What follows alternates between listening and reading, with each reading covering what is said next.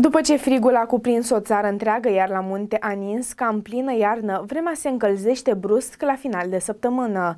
Vom avea temperaturi și de 30 de grade Celsius. Schimbările bruște de temperatură au luat prin surprindere o țară întreagă, iar multor persoane le-a afectat chiar și sănătatea. Le suport greu.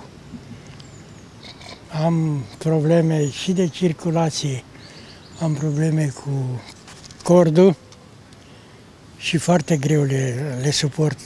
Când prea cald, când prea frig. Spre exemplu, la frig e nenorocire. Mi se par normale aceste temperaturi pentru vremea respectivă? Sunt schimbările climatice, urmările schimbărilor climatice și schimbarea climatică, știți din ce cauză. Au nenorocit planeta. Asta au făcut dezvoltând industria. Am mai avut așa ceva. În 57 eram student la București și când am început facultatea am făcut baie la Floreasca.